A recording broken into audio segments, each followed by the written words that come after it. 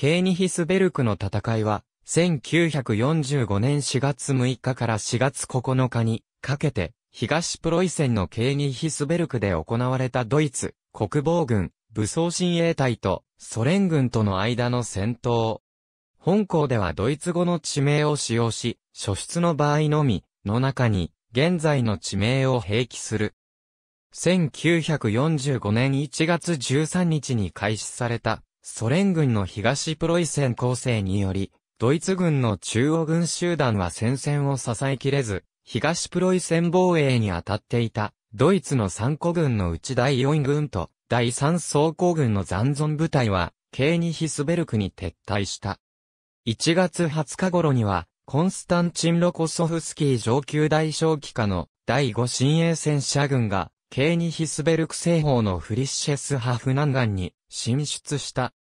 これに対して、第2軍は1月26日に西方に向けて反撃を開始し、一時は法以外のドイツ軍がいるエルビングに迫るも、ソ連第48軍の反撃によって撃退され、第2軍はハイリゲンバイルで60万の民間人と共に包囲された。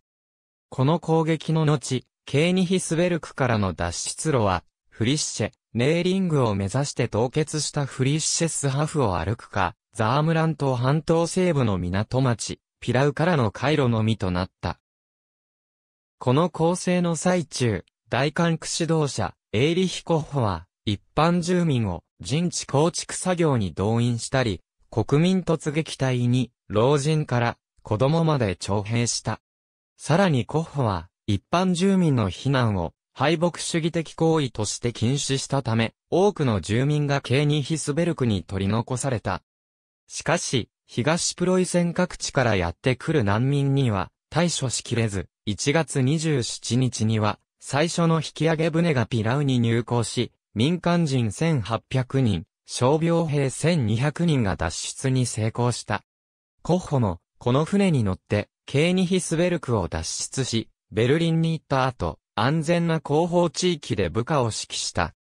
ピラウは、ケーニヒスベルクの守備隊と民間人にとって、生命線であったが、2月初めに、ソ連軍が、ケーニヒスベルク近郊に進出し、ケーニヒスベルクは、ザームラント半島から切り離された。これに対して、第三装甲軍は、ピラウのドイツ軍と同時に、ソ連軍を攻撃し、2月19日に、ソ連軍の包囲を解くことに成功した。この間、ケーニヒスベルク市街には20万の民間人が取り残され、守備隊の士気は著しく低下していた。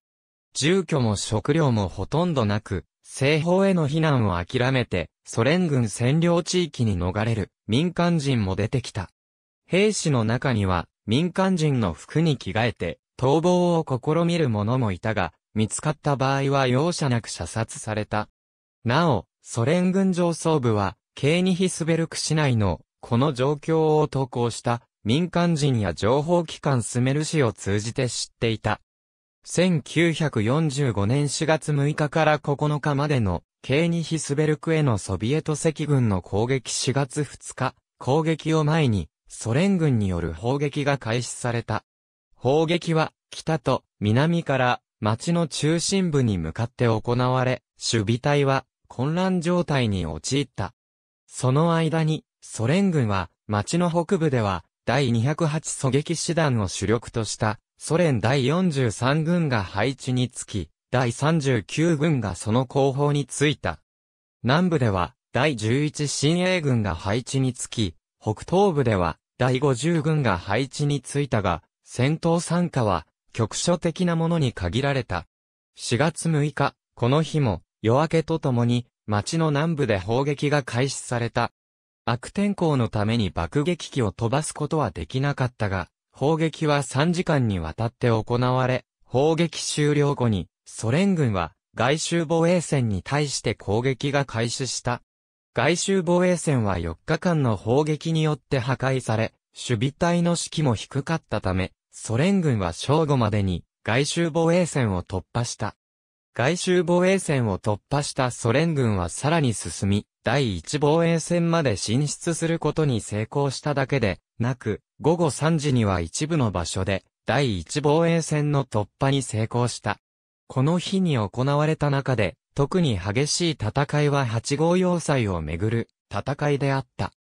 八号要塞は19世紀に作られ、厚い壁と堀によって守られているために、正面攻撃が不可能であったが、ソ連軍は火炎放射器と銃砲を使用して攻撃した結果、夕方に8号要塞の壁の一部を破壊することに成功した。一方、北部でも南部と同じ頃に攻撃が開始され、正午までに外周防衛線は陥落した。しかし、午後になってから、ザームラン島半島のドイツ軍が市の西部から反撃に出たため、ソ連軍の進撃速度は遅くなった。北部で特に抵抗が激しかったのは5号要塞で、ソ連軍の指揮官は5号要塞を包囲下に置くと、5号要塞の攻略を後衛部隊に任せて進撃した。夕暮れとともに、両軍は攻撃を停止し、部隊の再編成を行った。ソ連軍は予想以上に守備隊の抵抗が激しく、進撃が鈍っていることに驚いたが、この日の戦いで、ドイツ軍守備隊の士気はさらに落ちていて、将校を含めて、ソ連軍に投降する兵士は多かった。この日の未明、ドイツ軍は、野手をかけて、ソ連軍に大きな被害を出させたが、ドイツ軍も損害を被ったために攻撃は中止された。夜明け後、この日は天気に恵まれていたため、ソ連第1、第2、第15航空軍の爆撃機100機が出撃し、市街地やドイツ軍の共闘砲を爆撃した。爆撃終了後、ソ連軍は再び進撃を開始して、各要塞の攻略にかかった。8号要塞は昨日壁の一部を破壊することには成功していたが、未だに要塞内にはドイツ兵が残っていた。これに対してソ連軍は再び火炎放射器と銃砲を使用し、攻撃終了後に数百人のソ連兵を壁の穴から8号要塞になだれ込ませた。そのため内部では激しい白兵戦となり、8号要塞内部の守備隊は混乱状態に陥った。この攻撃によって、要塞の防御力は著しく低下したため、この暇に、ソ連軍は正面から総攻撃を開始し、最終的に守備隊の残兵は、ソ連軍に降伏した。8号要塞が陥落したことにより、南部では、ドイツ軍の抵抗がほとんどなくなった。第11新鋭軍の先鋒は、プレーゲル川に達しようとしていたが、町の中心部に近づくにつれて、建物を遮蔽物にしたドイツ軍によって反撃され、再び進撃速度が鈍り始めた。特に、ドイツ軍が激しく抵抗したのは、ケーニヒスベルク駅のプラットホームで、ドイツ軍は、鉄道車両に身を隠しつつ、ソ連軍に攻撃を加えたため、ソ連軍は大きな損害を出した。しかし、それでもソ連軍の進撃を阻止することはできず、夕方までに、ソ連軍の先鋒は、町の中心部にある、最終防衛線にまで達した。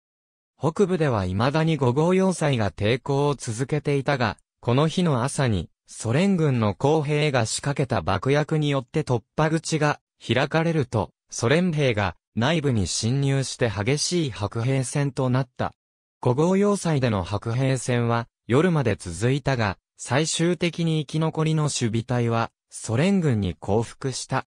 夜、コッホの配下の大管区指導者代理は、死の放棄を主張し、守備隊長のオットー・ラッシュは、陸軍総司令部に無線で通信した。ラッシュはヒトラーに降伏の許可を求めたが、ヒトラーは降伏を認めず、最後の一兵まで戦えとラッシュに命じた。この日の未明に、ソ連軍は、プレーゲル川の渡河を開始した。これに対して、ドイツ軍も激しい抵抗を見せたが、ソ連軍は夜明けまでに対岸に共闘砲を確保した。同じ頃、北部の第43軍と南部の第11新鋭軍が町の西側で合流することに成功し、ケーニヒスベルクの市街地は完全にソ連軍の包囲下に置かれることとなった。午後になってソ連軍のアレクサンドル・バシレフスキー元帥がドイツ軍に対して投降勧告を行ったが、ドイツ軍はこれを拒否した。ドイツ軍は包囲を突破してザームラント半島方面に撤退することを試みたが、イリューシンに攻撃機によって妨害されたため失敗に終わった。なお、この時に、ケーニヒスベルクのナチ党幹部が民間人に強制退去命令を出し、ラッシュに事前の通告もなく、市民を一箇所に集めた。しかし、これが、アダとなって集合場所は、ソ連軍に砲撃され、民間人に多数の死傷者が発生した。ドイツ軍による包囲突破の試みは夜まで続けられたが、この日の終わりにドイツ軍は再び市内に戻った。なお、この時点でドイツ軍の兵力は約4万に減っていた。包囲突破に失敗したドイツ軍は、ケーニヒスベルクの中心部で絶望的な抵抗を続けたが、ソ連軍の攻撃によってドイツ軍の防衛線は崩壊し、戦線を維持するのが困難な状況になっていた。生き残った市民は幸福を示すために窓から白いシーツを垂らし、中にはドイツ兵から銃を取り上げようとする者も出てきた。この状況になっても、武装親衛隊は戦闘継続を主張したが、ラッシュは降伏のための軍師を派遣した。午後6時に、軍師はソ連軍の前線に到着し、午前0時過ぎに降伏が認められ、ケーニヒスベルクの戦いは終結した。現在のケーニヒスベルク大聖堂翌4月10日朝、ラッシュをはじめとしたドイツ軍将校たちが、バシレフスキーの司令部に到着し、生き残った守備隊員たちは、捕虜としてソ連軍に連行された。市街地にはソ連軍が進駐したが、進駐したソ連兵たちは、一般住民に対して略奪や強姦を行った。ケーニヒスベルクの市街地は、1944年8月の英国空軍による空襲と今回の戦闘によって、市街地の80%余りが破壊され、ケーニヒスベルク城やケーニヒスベルク大聖堂などの歴史的な建造物も破壊された。このうち、ケーニヒスベルク大聖堂はソビエト連邦の崩壊後に再建されたが、ケーニヒスベルク城は再建されず、跡地には、ソビエトの家と呼ばれる建物が建っている。ケーニヒスベルクには、終戦後も2万人のドイツ人が残留したが、1947年4月に、ほぼすべてのドイツ人が、ドイツ本土のソ連占領区域に強制送還された。ありがとうございます。